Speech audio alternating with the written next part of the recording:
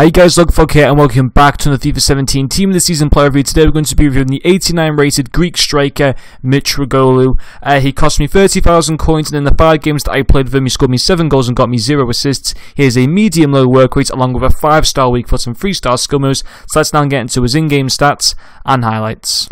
Okay guys, so off into Mitroglou's in-game stats, the 4 main stats on his card which stand out to me his 92 aggression, his 91 jumping, his 97 attack positioning and his 93 finishing. He doesn't have any specialists, but does have the three traits of power header, backs into player, and target forward. And before we guys get off into the pros and cons for this cut, I apologize if I'm not pronouncing his name properly. I think I am, but if I'm not, please let me know. Uh, but anyway, guys, getting off into the pros, for me, his first pro is his finishing. He does have the 93 finishing on his card, which I just talked about, as well as the 92 shots on his base card. And for me, they were both absolutely definitely reflected. I mean, first of all, seven goals in five games is a very nice return, and also that five star weak foot was very, very important.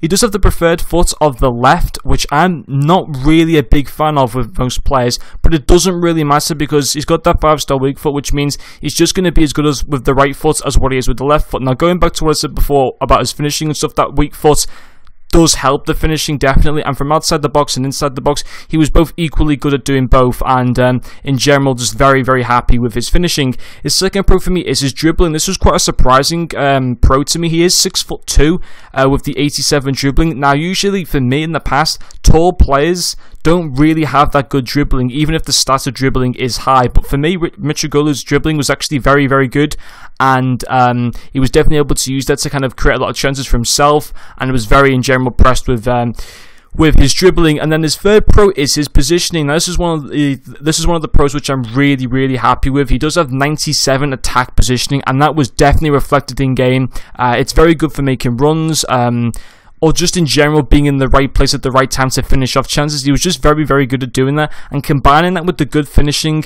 um, the good physicality, the good dribbling, you know, it just makes him a very good striker to use, and I was very, very happy with that. And that does lead on to the last pro, which I just said before about the physical just then. Uh, yeah, his physical was very good. He does have that six foot two height, and the physical was very much important in terms of being able to create chances or uh, like for himself or for other players. It was very good, and yeah, just very happy with his physical. Onto the cons, the only con I've got for him is that he does lack pace, and he really, really does lack pace. I mean, I put the Hawk uh, chem style on him, and um, you know, with the whole chem style on, his pace definitely did feel better than 67, but it didn't feel that good overall. And you definitely need to play this guy in a two man attack, in my point of view, just so you got somebody else who can really support him.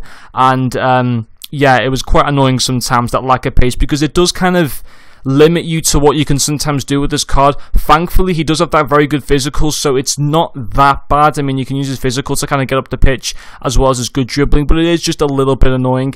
Uh, but anyway, guys, that is going to finish off this player review. Uh, I am going to give him a 9.5 out of 10. He was a pretty decent player to use. Would I recommend buying him? I mean, I got him for 30,000 coins.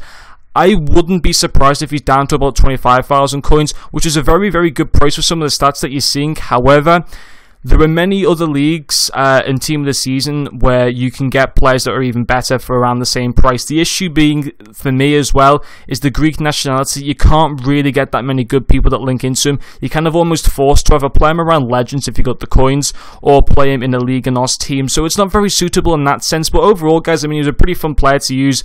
I don't know if I just really recommend everybody to um, to really put him into a team because I just think there's better alternatives out there. But he was a decent player though overall. But anyway, guys, that is going to finish off this video. I hope you guys have enjoyed watching, and I'll see you guys later.